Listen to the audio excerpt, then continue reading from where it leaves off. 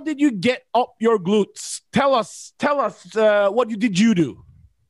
I honestly, the the very first thing you have to do is make sure you're activating them okay. when you're training, because you know the big one of the biggest things about your ass is it's lazy in most cases.